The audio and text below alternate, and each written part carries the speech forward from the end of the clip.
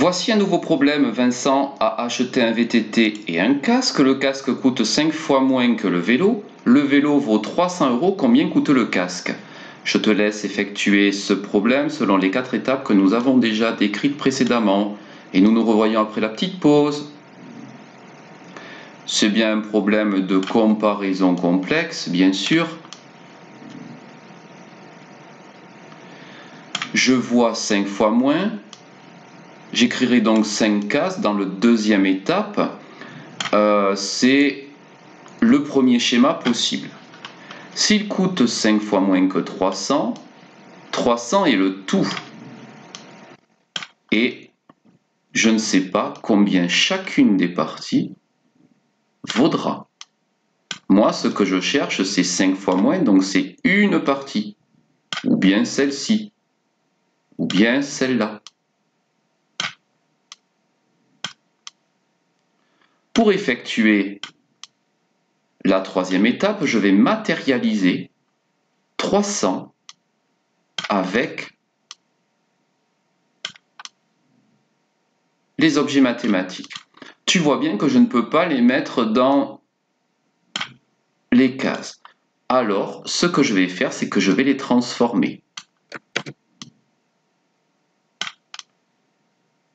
Ce sera plus facile si elles sont en dizaines. Donc ça me fait 10 dizaines, 20 dizaines, 30 dizaines.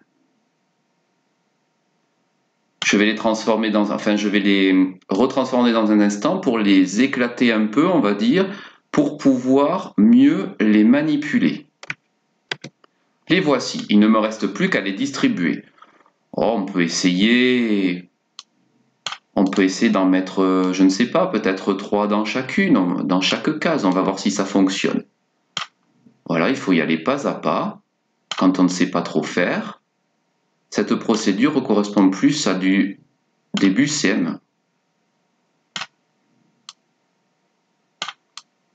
Je vois que je peux en distribuer un peu d'autres. Pardon, il faut que je prenne un peu le temps de bien le faire je peux tiens faire comme ceci. Hop. Hop. Hop. Hop. Et il m'en reste 5. Ça veut dire que je vais pouvoir en mettre une de plus. Et là, je vois j'observe que chacune des parties comprend trois dizaines, c'est-à-dire 30 unités. Le casque coûtera donc 60 euros. C'est une façon de le résoudre. Mais je peux résoudre aussi d'une autre façon avec la deuxième possibilité. Je vais le mettre un peu plus petit pour laisser de la place pour la deuxième façon de procéder, dans l'étape numéro 2. Le casque coûte 5 fois moins que le vélo. Le casque est donc en bas. Le vélo sera donc en haut. Et comme je cherche combien vaut le casque, le point d'interrogation est bien en bas. Ma flèche descend. 5 fois moins pour les CM2, c'est divisé par 5. Voici comment l'écrire dans l'étape numéro 3. J'ai vu tout à l'heure que 3 centaines, je ne peux pas la distribuer, donc je vais prendre 30 dizaines.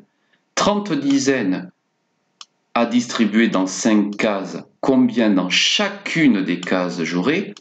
300 divisé par 5, on peut dire aussi dans la table de 5 Combien y a-t-il pour que ça fasse 30 en tout?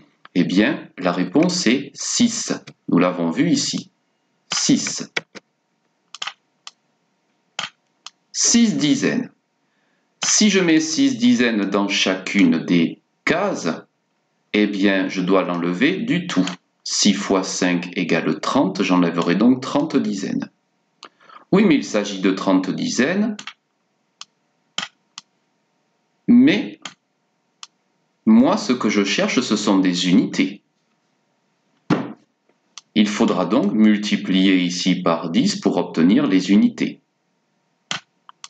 J'ai donc 6 dizaines dans chacune de mes cases, c'est-à-dire 60 unités. Le casque donc coûte, quatrième étape, 60 euros.